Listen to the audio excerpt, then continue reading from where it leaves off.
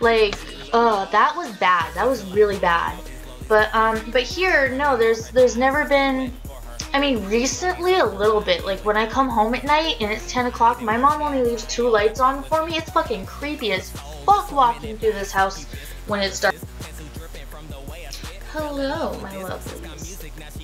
Hello, my lovely. Not quite some time, two weeks. Um, but something has come to my attention. Um,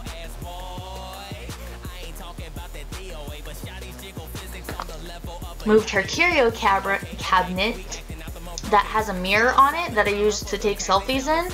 And when you walk in the door and it's dark, that's the first thing you see. So I swear to God, like my own reflection scares the shit out of me sometimes when I come home. So I swear to God, like my own reflection scares the shit out of me sometimes when I come home.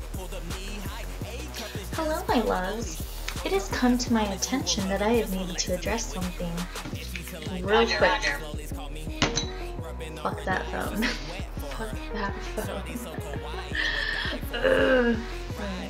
Fuck that phone.